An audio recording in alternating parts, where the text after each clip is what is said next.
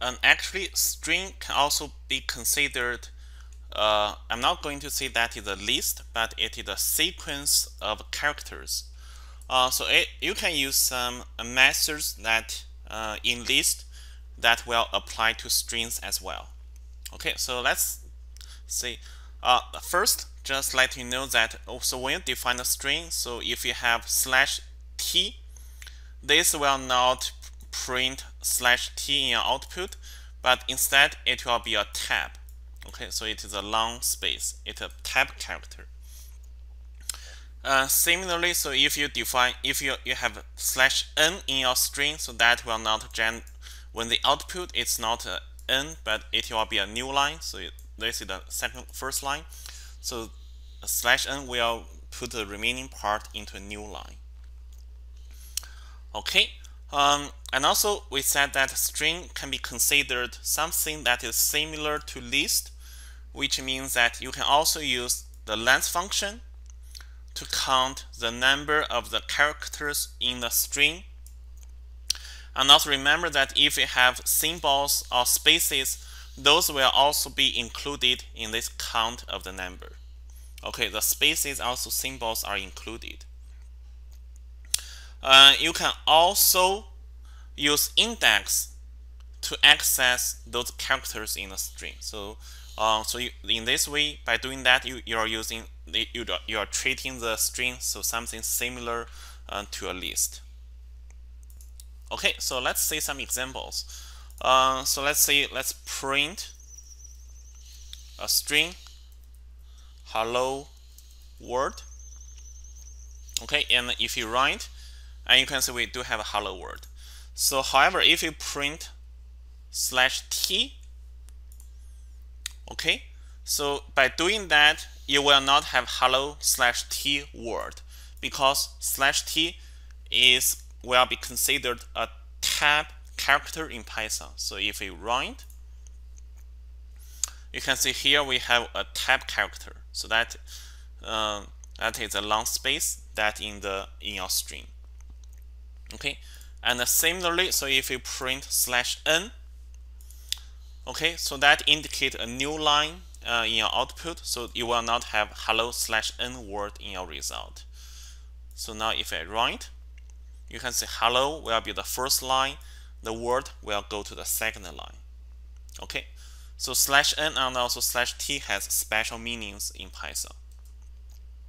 Alright so go back to our uh, hello world string so as we mentioned earlier, so you can also use the length function. Remember the length function is a built-in function in Python. Okay, and to count the number of the characters in this string. So we use print and also within this print we are calling this length function. Okay, so length parentheses and we have hello world.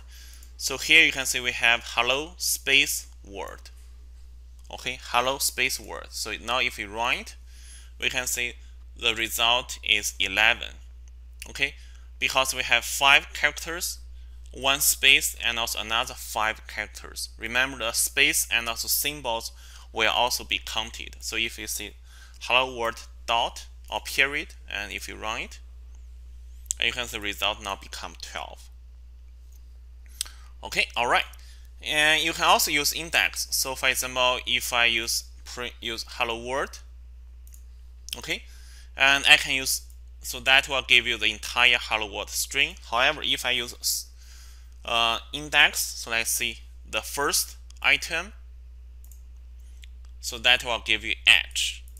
And if you want get the last item, okay, so that will give you the string d. Okay, so you can also use index to access characters in a string. And now let's talk about the set. Uh, so set is similar to list, but it, first it is unordered, so there's no order in a set. Secondly, all the items must be unique. Okay, so if you have duplicated items, so Python will only keep the unique items in the set. And you can create a set with this curly bracket or use this built-in function that is set function. Okay. Uh, so normally we are using set to check uh, and also use the in operator to check the membership. So for example, if you want to check whether or not some items in the uh, uh, in in a collection, so we can use its in operator, so which will be very efficient. And in Python 3, remember that uh, if you want to use index on a set, you need to convert the set to the list first. Okay, so you cannot uh, use index on a set directly. So you have to convert set into list first, and then you can use index.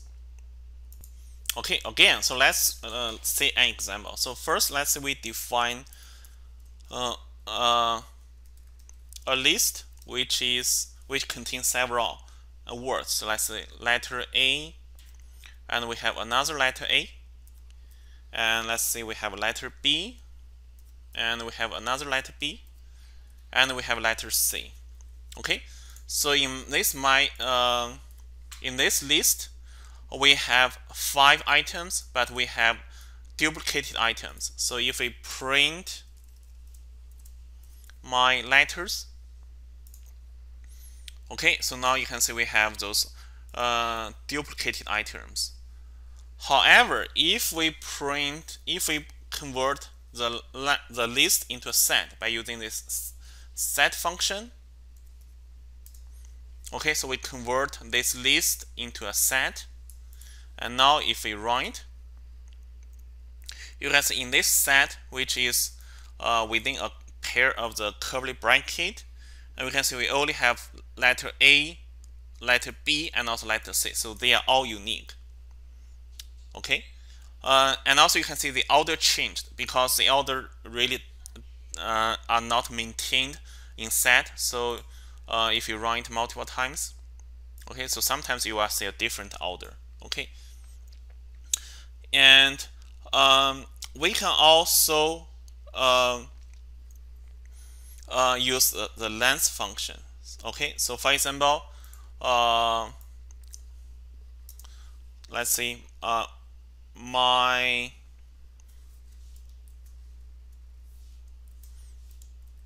let's say that my unique letters equals set and my letters. Okay so now if we print my uh, unique letters okay so we have this one and I think you can also apply length function. Uh, I didn't mention that in the lecture, but yes. So you can see uh, we will have we have three items in this um, in this set because we have three unique items in this set. All right, and we also, as I said, we also use can use the in function. So for example, if we want to check the letter A whether or not the letter A in my in this set? We see A in sorry the in is an operator so it's not a function. So A in my unique letters and you can see it is true. And if we see C in my unique set it is also true and if we see whether not D in my unique set okay and also it is false okay? So when you're use, going to use in operators so in operators will be more efficient on set than uh, on list okay? So if you want to check like say the membership so whether or not some people belong to uh, a specific group and you, you can convert other people's ID into a set and you can check using this in operator okay and we also I also said that you cannot use the index directly on set. So for example, if you want to get the first item, okay, we have this error because set object does not support index. So we have to convert the set into a list. So to convert the set into list, we use a list function. Okay. So we convert that one into a list so now we have this set and we convert that set into this list. and once we converted that one into a list and we can use this index okay okay uh, so now you can see now we can get the first item in this case the first item is B okay but if you run it multiple times and the result might be slightly different okay because uh, when you convert this set into list so the order in the set uh, um, uh, can change sometime Okay, uh, so just FYI, so those are the built-in functions in Python. Uh, again, similarly to the keywords in Python, so I just gave you those uh, this table as a reference, so you don't need to remember all those built-in functions. You don't need to remember all those keywords.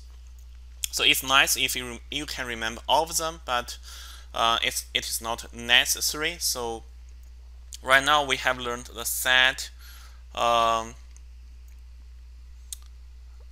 length okay and and also the list. So we uh, so we are going to learn more and more of those uh, those built-in functions uh, on this table. But you don't need to remember all of them. So just as a reference that uh, you can check when you need it and also the print. Okay, uh, so again, just an over uh, summary of the data containers. So we already talked about the list, which is a collection of the values, and the uh, they are ordered items, and they are declared by this square bracket. And we also talked about set. So those are also a collection of the values, but all the items must be unique. And also the symbol to de define a set is this a square bracket, a curly bracket, sorry, a curly bracket. Uh, so next week we'll talk about dictionaries and also tuples. So dictionaries are collection of the key value pairs. Uh, so they are uh, paired key values and also the symbol is also um, this uh, curly bracket. Tuple is also collection of the values which is similar to list and also set but it is immu immutable. So that means the items in the tuple cannot be changed. And the symbol for the tuple is a parenthesis. And finally, as always, so do not forget that we upload our uh, local repository to the GitHub. So it is git add dash dash all and git commit dash m so we can add a comment. Um, uh, so you can design your own comments. So I will uh, call this one lecture 3. Talk about set. Okay. And I just say git push. Okay, so now that is, has, is going to be uploaded to my GitHub. So now if we check uh, our repository, Okay, great. Now you can see lecture 3 is just uh, updated.